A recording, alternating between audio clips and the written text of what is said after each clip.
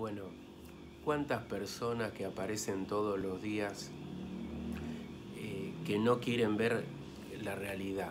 Entonces dicen, Rodrigo, me separaron por brujería, tal persona es la culpable, como recién el muchacho este que, que no voy a decir su nombre, me dijo, la secretaria de mi expareja me está haciendo brujería hace meses, me separó.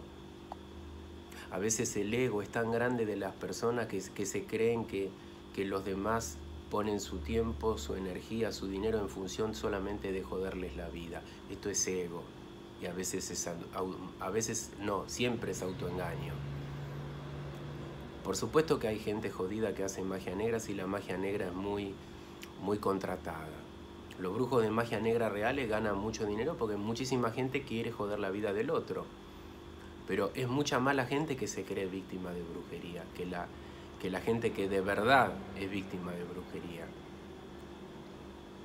Ahora, yo no dejo de sorprenderme como todos los días aparecen dos o tres personas que dicen, me hicieron una brujería y me separaron de mi pareja. Y yo te pregunto, ¿había una relación de amor perfecta, maravillosa, equilibrada? Porque si la había, por más que se haga brujería, el poder del amor es más fuerte. Salvo que tú del otro lado me digas, no, el poder de la magia negra es más fuerte que el poder del amor. Bueno, si tú crees eso, entonces, ¿qué, qué es lo que vale el amor para ti?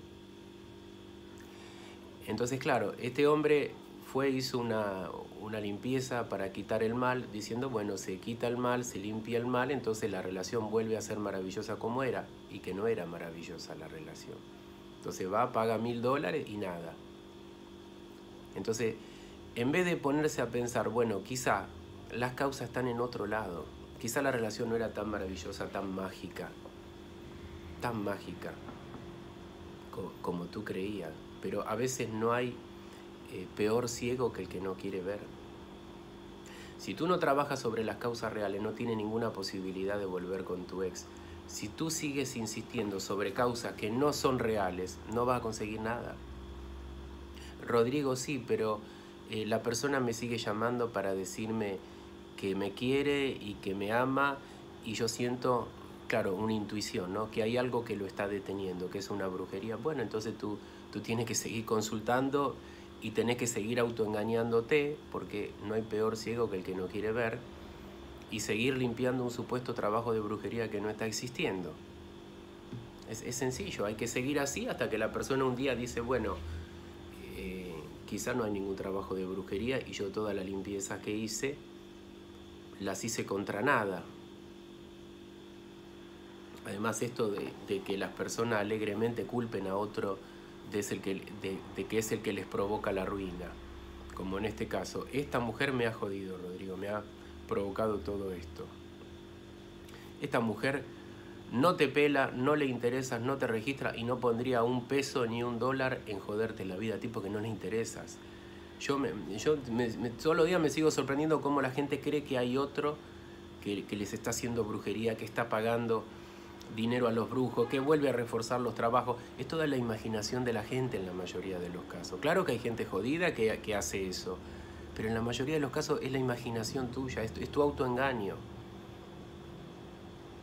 Después la persona pregunta, ¿y pero por qué no voy a ser, no soy feliz? Y pero que no eres feliz porque por el camino que va te estás engañando todo el tiempo. Nadie está queriéndote hacer con magia negra eh, tu vida un infierno la mujer esta a la cual tú acusas no, no, te está haciendo brujería ni está pagando dinero todo el tiempo. Puede no caerte bien.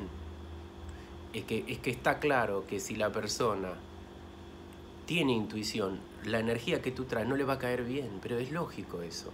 Si tú la estás acusando de brujería a la persona, ¿por qué ella, ella te tendría, tendría que tener la mejor onda contigo si tú, la está, tú estás teniendo la peor onda?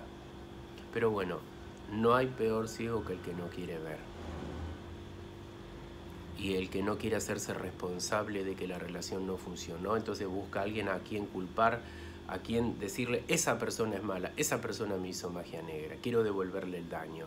¿Estás seguro que es esa persona o, o no será que eres tú?